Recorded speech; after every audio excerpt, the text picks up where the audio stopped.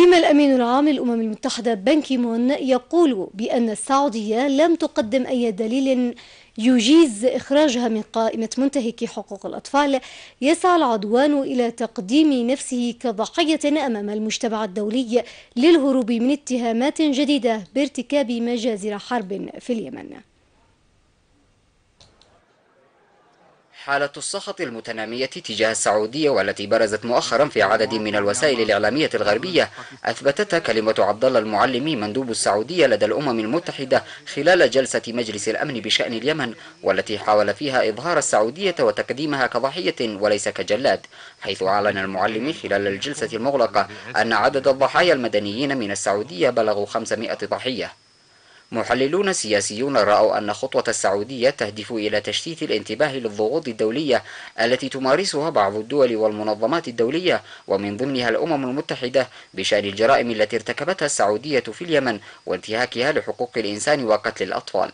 وقد برزت هذه الضغوط من خلال تصريحات ناطق تحالف العدوان أحمد عسيري والتي حاول من خلالها القول بأن السعودية ليست طرفا في الحرب وأن دورها لا يتعدى دور الوسيط في اليمن.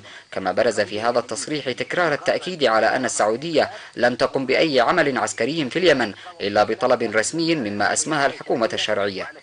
In Yemen, six times وبالإضافة إلى ضغوط المنظمات الدولية تأتي كلمة الأمين العام للأمم المتحدة للتأكيد على الموقف المتأزم الذي تواجهه السعودية اليوم أمام المجتمع الدولي حيث لم تخلو كلمة بان كيمون من التلويح بإعادة اسم تحالف العدوان بقيادة السعودية إلى قائمة منتهكي حقوق الإنسان وقتل الأطفال. وذلك من خلال تأكيده على أن السعودية لم تقدم أي أدلة تجيز إخراجها من القائمة وإسقاط التهمة عنها.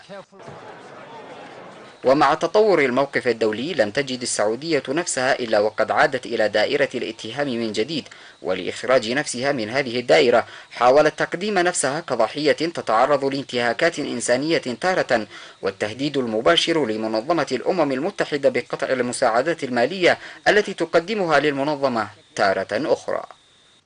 ثانيا إننا نؤمن بأن الأمم المتحدة يجب أن تتمكن من أداء دورها الإنساني الحيوي الفعال بعيدا عن الضغوط ودون أي محاولة للتأثير على قراراتها. والمملكة العربية السعودية كانت وستظل دائما سباقة إلى دعم الأمم المتحدة وأجهزتها ومنظماتها. ولكننا نؤمن أيضا بأن على الأمم المتحدة أن تمارس دورها بحيادية وموضوعية وشفافية. وأن تسير